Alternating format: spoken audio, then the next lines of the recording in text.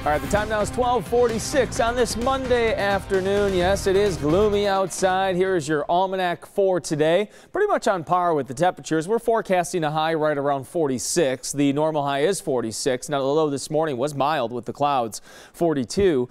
And the record of 81 was set back in 1945. This is a live look in Waukesha where we do have the gray skies overhead and the current temperature of 43.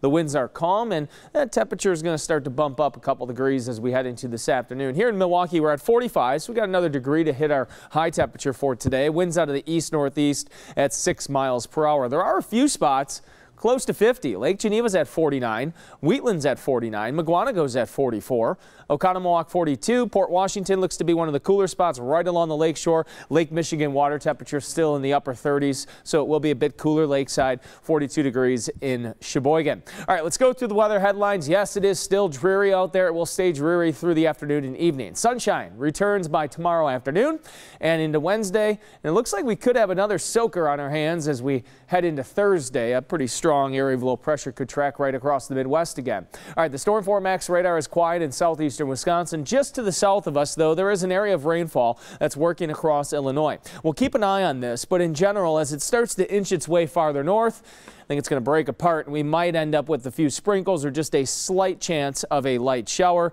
Some heavy thunderstorms working through the southeastern corner of Missouri and our storm system from over the weekend now affecting New England. Let's go through our future forecast as we head through the afternoon and into the early evening. You see what I mean? That precipitation to the south breaking apart. Lots of clouds overhead, maybe even a little bit of fog still this evening. Overnight tonight, mostly cloudy skies and by tomorrow morning and into tomorrow afternoon, we'll start to notice the clouds breaking apart. And by tomorrow afternoon, I think we'll finally start to enjoy some sunshine. That'll be nice after a gloomy weekend and a gloomy Monday. High pressure still on Wednesday, looking pretty good. This is 4:30 in the morning, but look what's brewing to the west of us. Yeah, you see all this green and even some blue in the Rocky Mountains. Here comes our next storm system.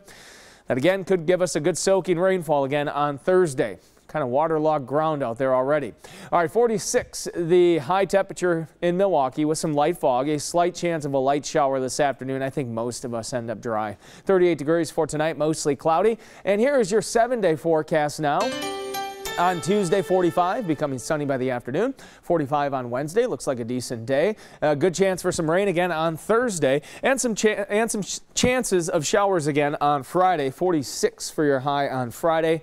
Hey, next weekend, that looks better. 47 on Saturday, 48 degrees on Sunday. It'll be nice to see that sunshine tomorrow. We'll keep our fingers crossed, but with high pressure in place, I think it's a pretty good bet.